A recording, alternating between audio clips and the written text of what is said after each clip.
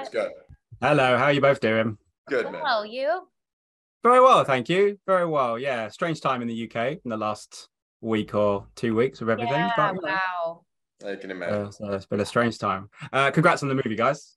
Thank you so much. you so Uh, much. watched it last night. It was thoroughly enjoyable. So congratulations on that. Uh, didn't realize until this morning when I googled you both that you're both executive producers on this. So even more of a reason to, to talk about talk about that. How how did that come about? Because obviously you guys are part of it as actors. Christina's part of the producing team as well. So how did that kind of come about as well as getting involved with the project? Maybe Lucy, I'll chuck that to you first. Okay.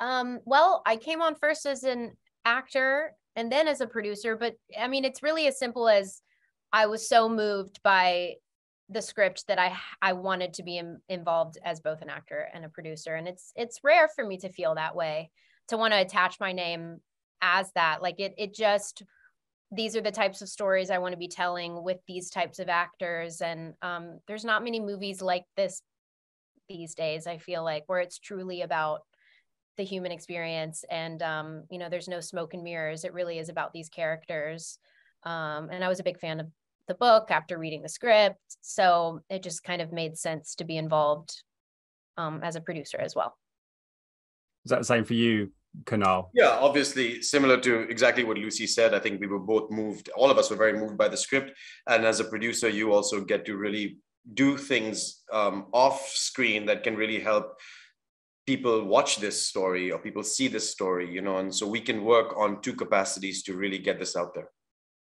and obviously there's a there's the, there's the book and then obviously the book itself you know the book within a book and everything else in your in your career thus far or as a as a person has there been a book or a film or a piece of music or an album that has Wow. either moved you or helped you on the career path that you've that you've chosen uh i'll give you a second to think about that it's quite a Yeah, I mean, I think we've, we've talked about this in a couple of interviews about books. I think Lucy and I have talked about, uh, you know, books. For me, it was The Alchemist was a real important book in my life, Mm. and The Prophet by Kahlil Gibran. I think Lucy, what book had you mentioned? oh the four agreements Yeah, favorite but i'm trying to think i mean i'll i'll say one of each that's like a favorite book an album Yeah, that- uh, that's what I was thinking about. An album. It's a Like- great question. uh jagged little pill alanis morissette was like the album for me it's like still is the album Have you seen me. the musical, Lucy? It's playing right now. The No, Palladium. I in New York, but I'm it's playing at the down. Palladium in LA. I don't know. Oh i thought you meant in new york i want to see it I um don't know and then oh what is and then i think the movie that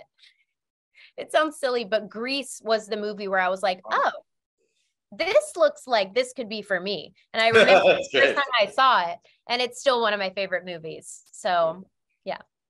yeah i do love grease i have a soft spot for Yeah. grease i do too yeah yeah my mum was rizzo when she was lit when she was younger oh wow Oh, adorable. uh, for, for a while.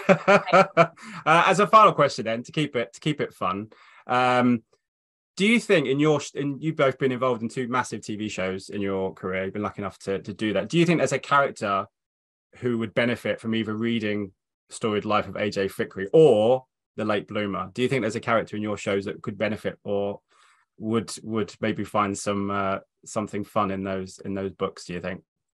Wow. So like the character we played on our shows yeah, like, or any of the characters in your show who would have benefited maybe from reading either of those two books. Do you think? Ooh. I Hmm. think anyone can benefit from it. But but my character Aria in Pretty Little Liars, uh she grew up to be a I should know this. She was the the reader of the show. Like she Hmm. um Mhm. fell in love with her English teacher. So she was like big into literature. So she probably has read would have read these books anyway. Yeah. I guess, I mean, maybe if Sheldon would read the storied life of AJ Fikry, it would invoke some emotion in him.